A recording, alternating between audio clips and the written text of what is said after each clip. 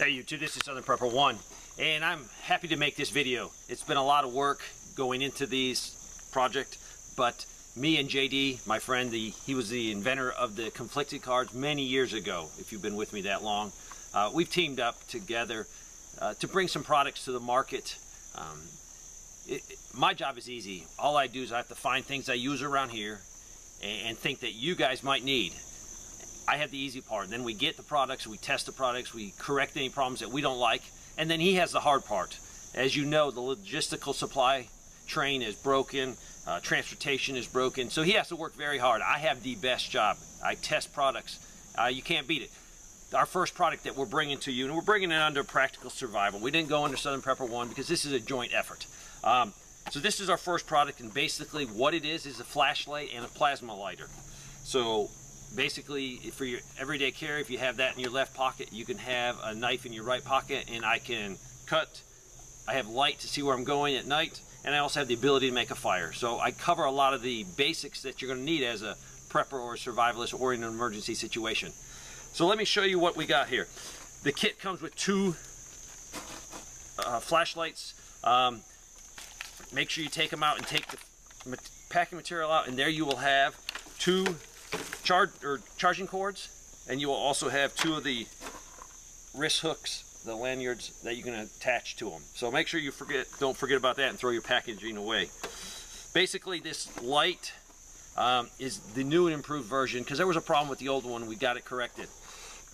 This is a similar one, but it's the older version. And as you can see, this space right here is very long and what would happen sometimes, not all the time, and it was just a minor problem. If it was in your pocket and you're moving around, you might accidentally turn the light on, um, which is easy to fix by just turning it off. But the new and improved model, this is raised on both sides and it has a very, half the size of the flat part. So it's a lot harder to turn on in your pocket. So that was a huge success for this model.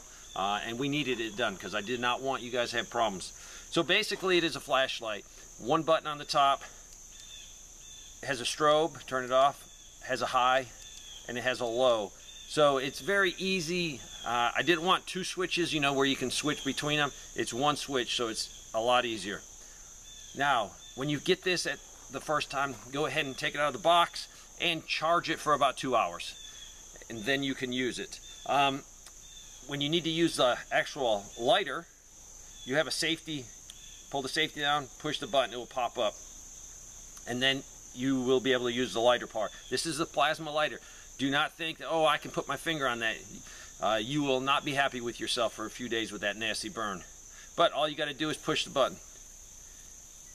This will stay on for seven seconds. It's built, uh, safety feature built in, so it will go off. And then you just have to re-hit the button. Usually what I have found, if you're not in a really damp environment and, and your um, material you're going to start to light, be it uh, a commercial uh, fire starter or just paper, you're going to have it within just a few split seconds.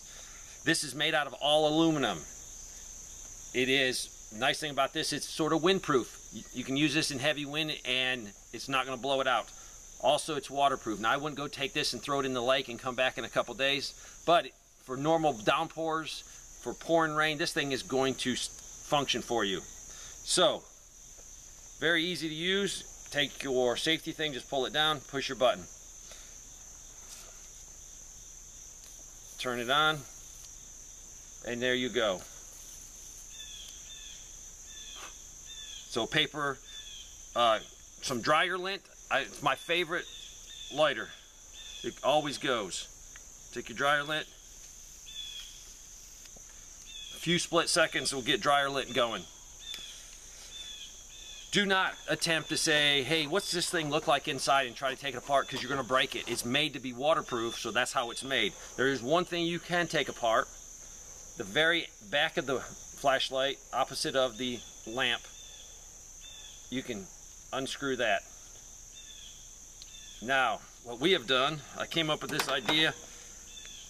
What's good for that space? We have some ideas coming for another product that's going to tie into this, but for right now, take you some dryer lint, get it as small as possible, put it in there, and then you really do have an emergency fire starter. So if your your wood is damp or the material you're going to try to get going first is damp, you at least have a fighting chance with some dryer lint. So I hope you like the product. If you got any questions, I'll put a link in the bottom and you can check it out. Thanks for your support.